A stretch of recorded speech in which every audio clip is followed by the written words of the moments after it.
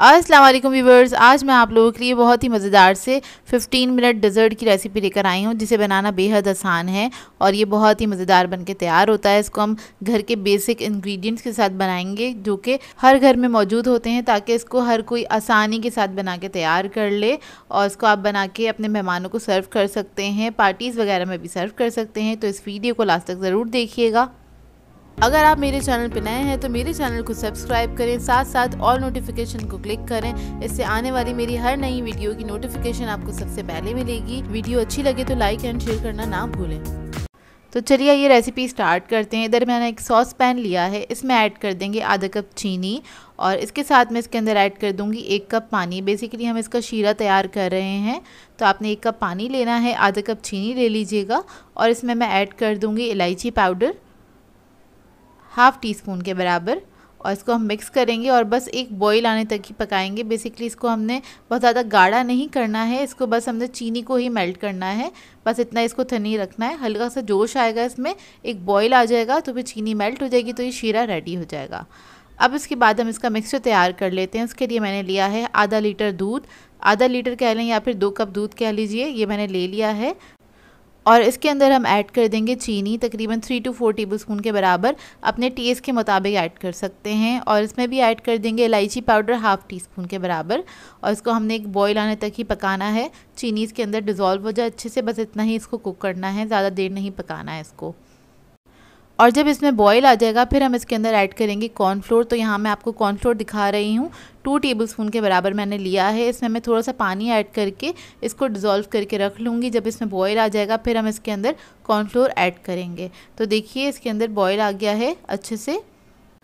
और अब हम इसके अंदर ऐड करेंगे क्रीम आधा कप के बराबर इधर मैं क्रीम ऐड कर रही हूँ, अगर आप लोगों के पास ये नहीं है तो आप घर की नॉर्मल मलाई भी ऐड कर सकते हैं, जो दूध के ऊपर से हम लोग उतारते हैं, वो वाली आधा कप ऐड कर दीजिएगा। उसके बाद इसको मिक्स कर लेना है आपने अच्छी तरीके से, और जब ये मिक्स हो जाएगी, फिर हम इसके अंदर कॉर्नफ्लोर का जो मिक्सचर था, वो हम इसके अंदर ऐड कर देंगे और इसको हमने मिक्स करना है। बस इसको इतना कुक करेंगे कि ये थिक हो जाए, आधा मिनट लगेगा इसको थिक होने में।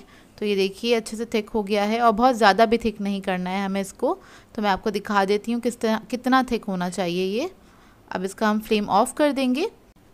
अब हम अपना डिज़र्ट रेडी कर लेते हैं। इधर मैं ले रही हूँ रस्क ये पापे हैं। और जो कि हर घर में मौजूद होते हैं। हम लोग जो चाय के साथ खाते हैं नॉर्मल वाली पापे हैंगे। तो मैंने ये ले लिए हैं। अगर आपके पास ये ना हो तो आप लोग केक का भी इस्तेमाल कर सकते हैं या फिर किसी बिस्किट का भी इस्तेमाल कर सकते हैं इसको रेडी करने के लिए। तो डिश के अंदर मैंने एक लेयर लगा दी है और इसके ऊपर हम ये ऐड कर देंगे शुगर सिरप जो हमने चाशनी बना के रखी थी, वो ऐड कर देंगे। और बहुत ज़्यादा नहीं ऐड करना है इसके ऊपर। आपने बस हल्का सा ही ऐड करना है कि अच्छे से सोख हो जाए। और जो ये हमारा शुगर सिरप है, इस वक्त हल्का सा नीम गर्म है और जो हमने दूध का जो मिक्सचर बना के रखा था, वो भी हल्का सा नीम गर्म होना चाहिए, इसको असेंबल करते वक्त। बिल्कुल ठंडा नहीं कीजिएगा उसको, नहीं तो वो सेट नहीं होगा। मतलब सेट हो जाएगा तो अच्छे से इसकी लेयर्स नहीं बनेंगी। अब इसके ऊपर हम एक लेयर लगा देंगे दूध का जो हमने मिक्सचर बनाया था उसकी, और इसको मैंने जग में डाल दिया था ताकि इसको पोर करना आसान हो, और इसको हमने फैला देना इस तरह से। इधर मुझे थोड़ा सा कम लग रहा था, थोड़ा सा और ऐड कर दिया है इसके ऊपर। इसको फैलाने के बाद दोबारा से हम जो रस्क है हमारे पास, उसकी लेयर लगा देंगे। तो आपके पास जिस साइज़ की डिश हो, उस साइज़ के हिसाब से आपने इसको पहले से कट करके रख लेना है। उसके बाद आप इसकी लेयर्स लगा दीजिएगा इस तरह से। और इसको भी हमने सोक कर देना है शुगर सिरप से। और शुगर सिरप जो आपका बच जाएगा, आप उसको डिस्कार्ड नहीं कीजिएगा। उससे, उसको आप चाय वगैरह में या किसी और डिज़र्ट में यूज़ कर सकते हैं, क्योंकि सारा इस्तेमाल नहीं होता है इसके अंदर, थोड़ा सा ही इस्तेमाल होता है।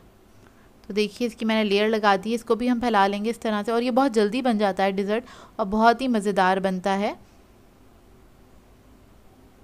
इसके बाद मैं इसके ऊपर थोड़ा सा इसको डेकोरेट करूँगी। इधर मेरे पास ग्लेस चेरीज़ थी, उसको मैंने छोटा छोटा चॉप कर लिया है। वो थोड़ी सी हम इसके ऊपर ऐड कर देंगे इस तरह से। थोड़ा अच्छा लगता है, अच्छी तरीके से आप इसको डेकोरेट कीजिएगा। और इसके ऊपर मैं थोड़े से पिस्ता भी ऐड कर रही हूँ। पिस्ता के स्लाइसेस हैं, ये ऐड कर देंगे। बस सिंपल सा ही रखा है इसको मैंने। और इसके बाद आप इसको रख दीजिएगा फ्रिज में एक से दो घंटे के लिए ताकि अच्छे से ठंडा हो जाए और उसके बाद ही आप इसको सर्व कीजिएगा। तो देखिए इसको मैंने तकरीबन एक से डेढ़ घंटे के लिए रखा था। ये सेट हो गया है, लेकिन अगर आप इसको ओवरनाइट रखेंगे तो ये और अच्छा सेट हो जाएगा। तो ये देखिए, इसको मैं दिखाती हूँ निकाल के, इसका अंदर का लुक। और ये बना बहुत मज़ेदार था, आप लोग बनाएँगे तो आप लोगों को पता चलेगा कि कितना अच्छा और इतना आसान डिज़र्ट बन के तैयार होता है और टेस्ट में बहुत ही मज़ेदार होता है। तो ये देखिए, मैं दिखाती हूँ आपको इसका अंदर का टेक्सचर और ये बहुत ही मज़ेदार बनता है, इतना सॉफ्ट बनता है। इसको आप लोग इंस्टेंट मलाई केक कह सकते हैं, क्योंकि इसका टेस्ट बिल्कुल वैसे ही होता है, जिस तरह का मलाई केक हम बनाते हैं। बस ये आपने पापड़ से तैयार किया है रस के साथ, लेकिन इसका टेक्स्चर टेस्ट बिल्कुल सेम हैगा। आई होप आपको ये सिंपल सी रेसिपी अच्छी लगी हो। सो so, वीवर्स अगर आप लोगों को मेरी रेसिपीज़ अच्छी लगती हैं तो मेरे चैनल को सब्सक्राइब करें लाइक करें कमेंट ज़रूर किया करें शेयर भी ज़रूर किया करें अपने फ्रेंड्स के साथ फैमिली के साथ तो मुझे अपनी दुआ में याद रखिएगा। अल्लाह हाफ़